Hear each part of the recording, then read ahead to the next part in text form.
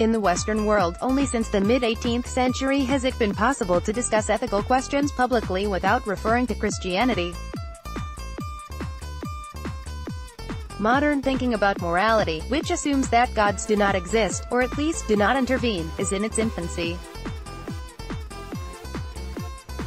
But the ancient Greeks and Romans elaborated robust philosophical schools of ethical thought for more than a millennium, from the first professed agnostics such as Protagoras, 5th century BCE, to the last pagan thinkers.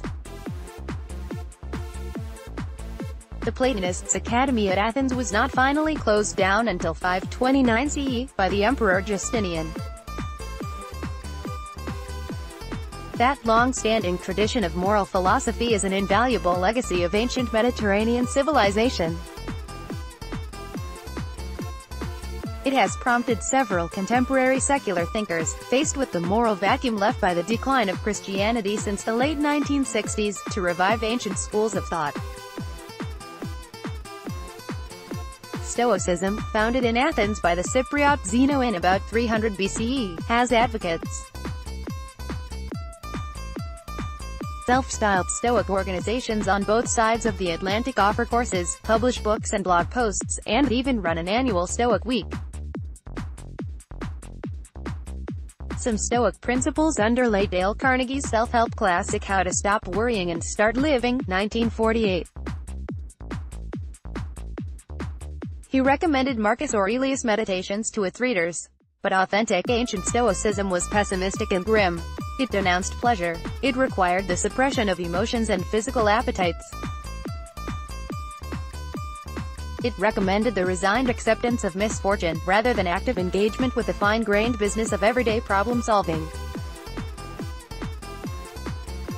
It left little room for hope, human agency or constructive repudiation of suffering.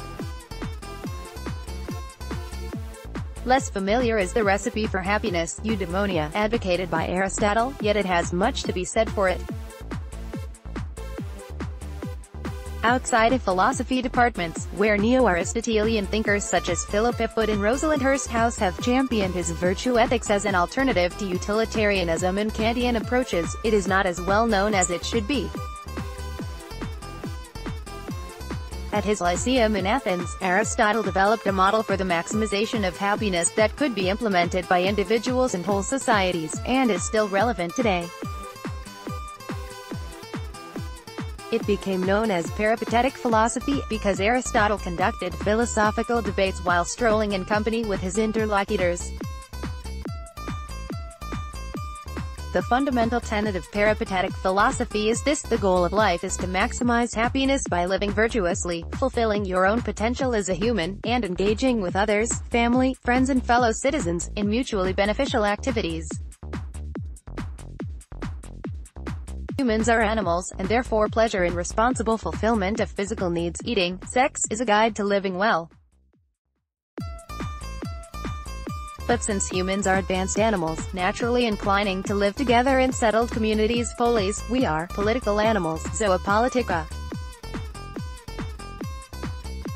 Humans must take responsibility for their own happiness since God is a remote entity, the unmoved mover, who might maintain the universe's motion but has neither any interest in human welfare, nor any providential function in rewarding virtue or punishing immorality.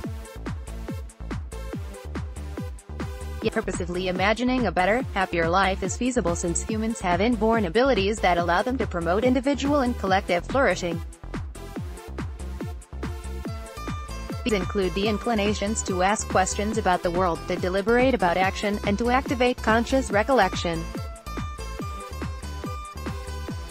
Aristotle's optimistic, practical recipe for happiness is ripe for rediscovery. It offers to the human race facing third millennial challenges a unique combination of secular, virtue-based morality and empirical science, neither of which seeks answers in any ideal or metaphysical system beyond what humans can perceive by their senses. But what did Aristotle mean by happiness or eudaimonia? He did not believe it could be achieved by the accumulation of good things in life, including material goods, wealth, status or public recognition, but was an internal, private state of mind. Yet neither did he believe it was a continuous sequence of blissful moods, because this could be enjoyed by someone who spent all day sunbathing or feasting. For Aristotle, eudaimonia required the fulfillment of human potentialities that permanent sunbathing or feasting could not achieve. Nor did he believe that happiness is defined by the total proportion of our time spent experiencing pleasure, as did Socrates' student Aristippus of Cyrene. Aristippus evolved an ethical system named hedonism, the ancient Greek for pleasure is hedon, arguing that we should aim to maximize physical and sensory enjoyment.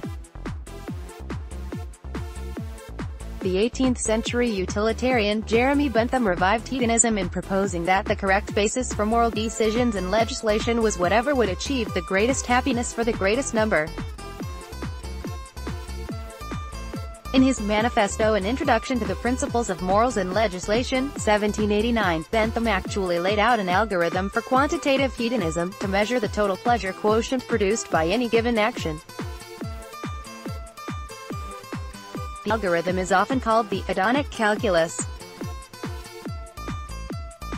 Bentham spelled out the variables, how intense is the pleasure? How long will it last? Is it an inevitable or only possible result of the action I am considering? How soon will it happen?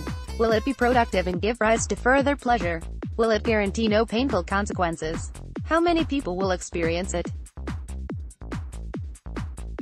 Bentham's disciple, John Stuart Mill, pointed out that such quantitative hedonism did not distinguish human happiness from the happiness of pigs, which could be provided with incessant physical pleasures. So Mill introduced the idea that there were different levels and types of pleasure. Bodily pleasures that we share with animals, such as the pleasure we gain from eating or sex, are the lower pleasures. Mental pleasures, such as those we derive from the arts, intellectual debate or good behavior, are higher and more valuable. This version of hedonist philosophical theory is usually called prudential hedonism or qualitative hedonism. Train yourself to be the best possible version of yourself until you do the right thing habitually. On autopilot there are few philosophers advocating hedonist theories today, but in the public understanding, when happiness is not defined as the possession of a set of external, or objective, good things such as money and career success, it describes a subjective hedonistic experience, a transient state of elation. The problem with both such views, for Aristotle, is that they neglect the importance of fulfilling one's potential. Cites approvingly the primordial Greek maxim that nobody can be called happy until he is dead. Nobody wants to end up believing on his deathbed that he didn't fulfill his potential. In her book The Top 5 Regrets of the Dying, 2011, the palliative nurse Bronnie Ware describes exactly the hazards that Aristotle advises us to avoid. Dying people say, I wish I'd had the courage to live a life true to myself, not the life others expected of me. John F. Kennedy summed up Aristotelian happiness thus, the exercise of vital powers along lines of excellence in a life affording them scope, for Aristotle insisted that happiness is constituted by something greater from indifferent to an accumulation of agreeable experiences. To be happy, we need to sustain constructive activities that we believe are goal-directed. This requires conscious analysis of our goals and conduct, and practicing virtue ethics by living well.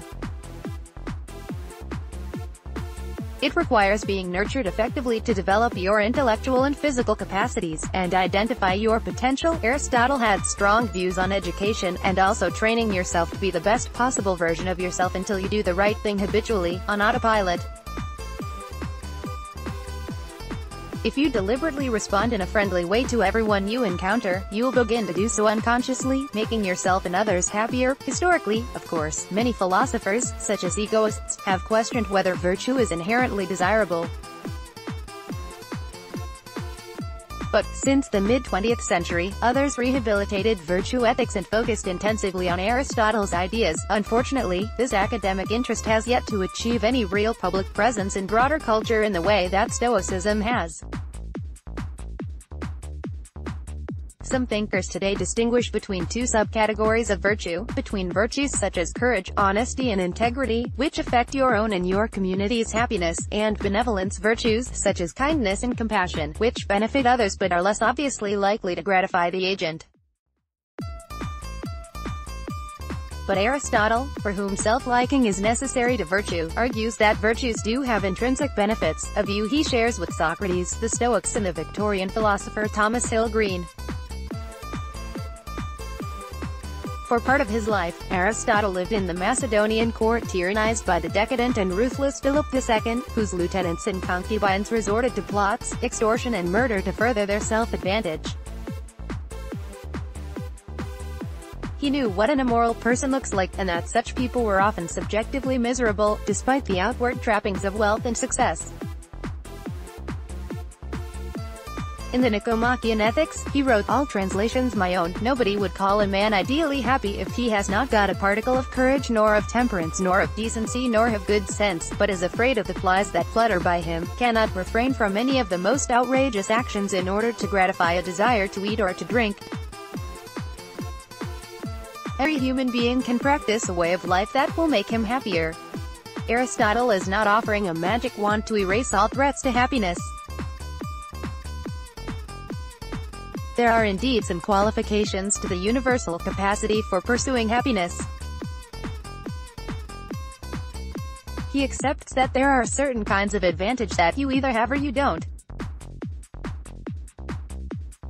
If you have the bad luck to have been born very low down the socio-economic ladder, or have no children or other family or loved ones, or are extremely ugly, your circumstances, which you can't avoid, as he puts it, take the It is harder to achieve happiness, but not impossible.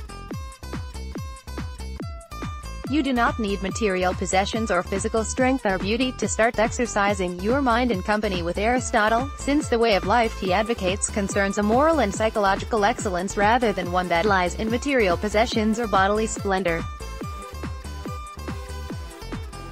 There he acknowledges, even more difficult obstacles. Having children or friends who are completely depraved is one such obstacle.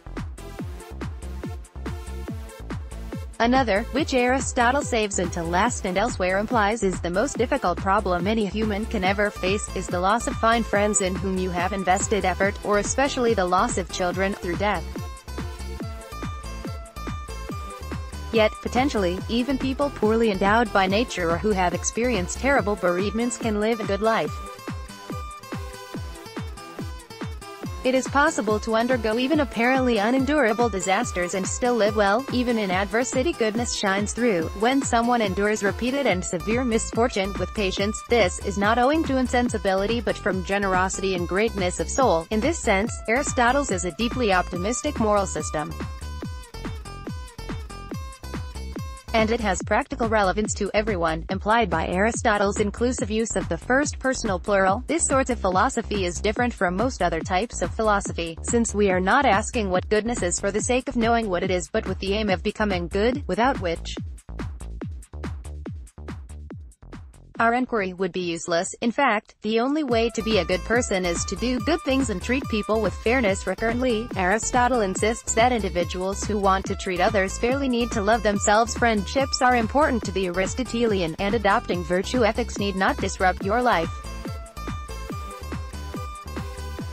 An Aristotelian goal is moral self-sufficiency so that you are invulnerable to psychological manipulation, but he recognizes that even the most self-sufficient person's life is enhanced by having friends, and writes brilliantly on different types of relationship, from marriage or its equivalents to reciprocal cooperation between coworkers and fellow citizens.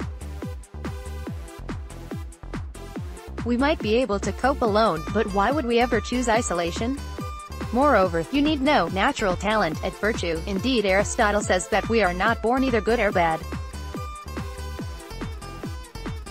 Nor is it ever too late, you can decide to retrain yourself morally at any point in your life.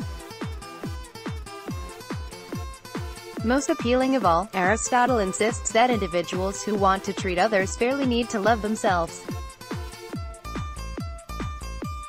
There is no room for self-hatred, self-flagellation or self-deprivation in his humane system.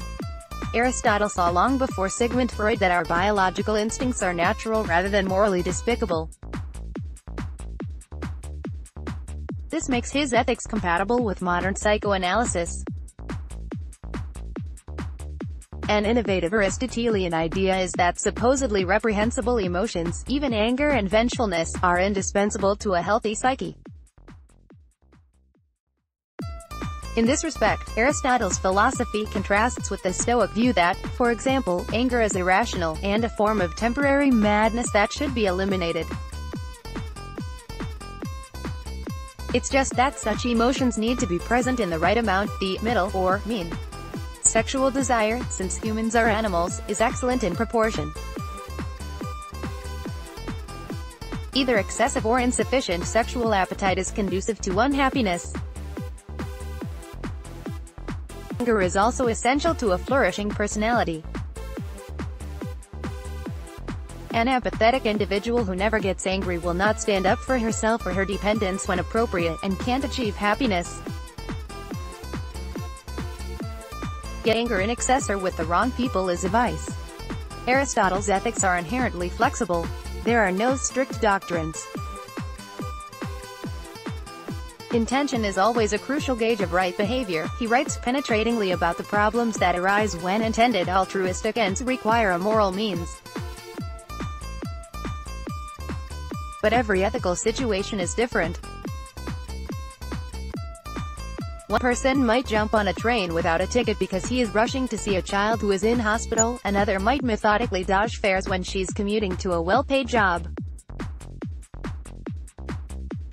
Aristotle thought that general principles are important, but without taking into account the specific circumstances, especially intention, general principles can mislead.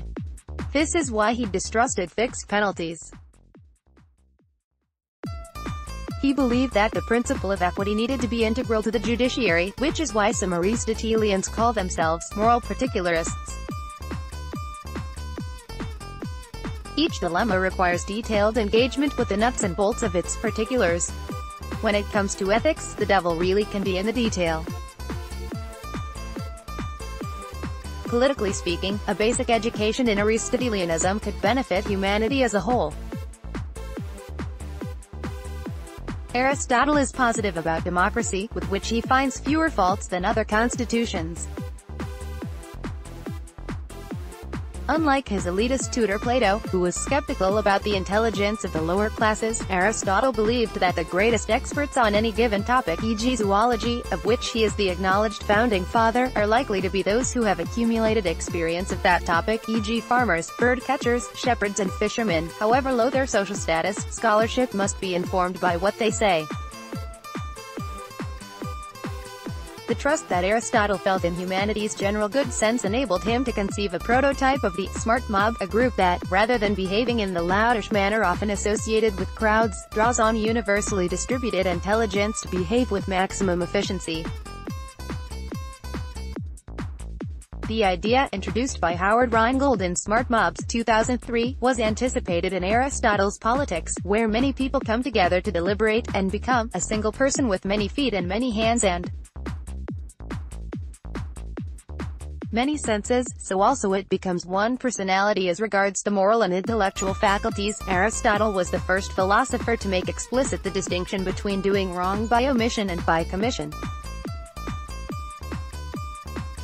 Not doing something when it is right to do it can have just as bad effects as a misdemeanor. This vital ethical principle has ramifications for the way in which we assess public figures.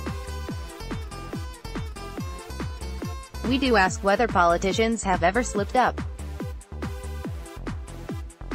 But how often do we ask what they have not done with their power and influence to improve societal well-being? We do not ask enough what politicians, business leaders, presidents of universities and funding councils have failed to do, the initiatives that they have never launched, thus abnegating the duties of leadership.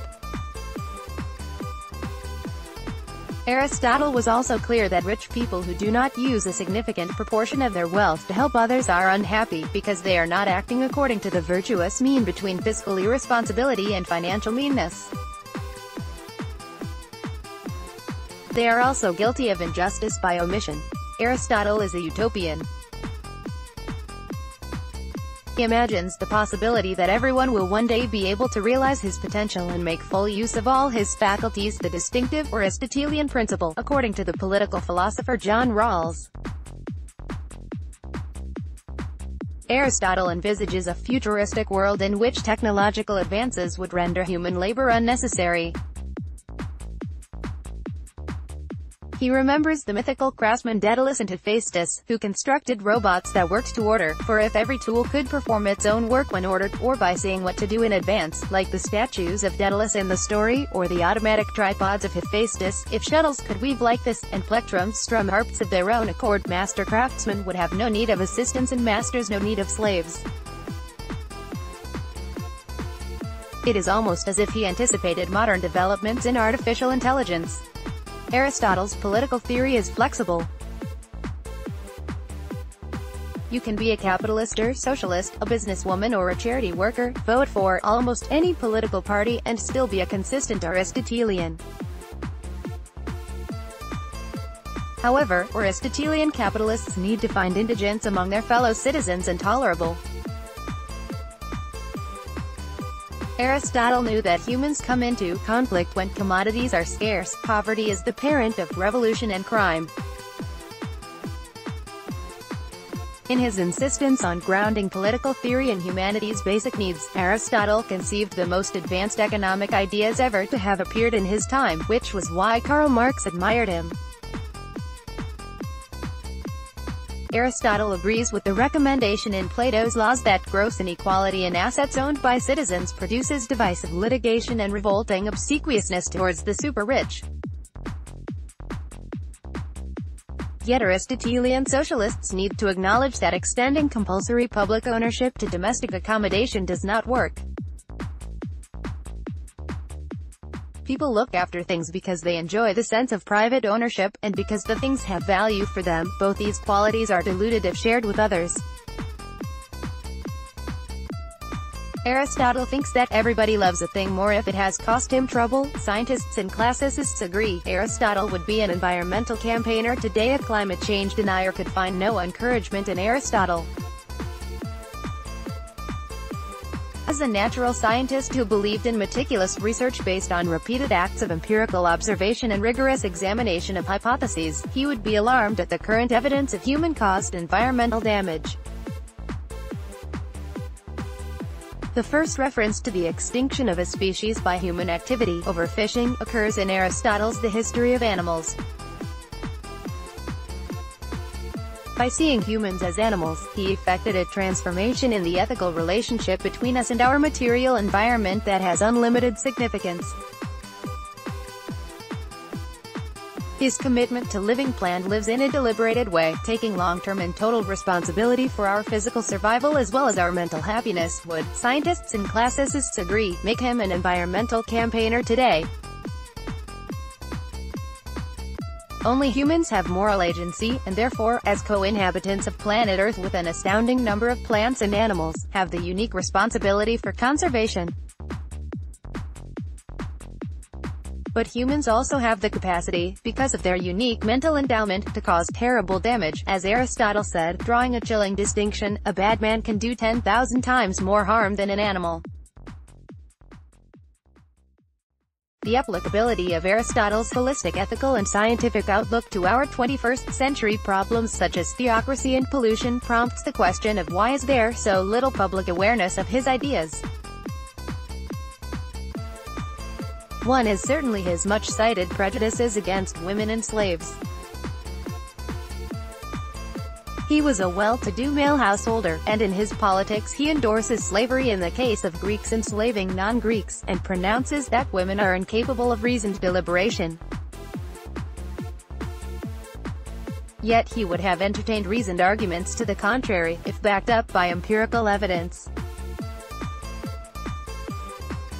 In every field of knowledge, he argued that all beliefs must be perpetually open to adjustment, medicine has been improved by being altered from the ancestral system, and gymnastic training, and in general all the arts and faculties. The laws the Greeks used to live by were too simple and uncivilized, he cites as examples the obsolete practices of purchasing wives and bearing of arms by citizens.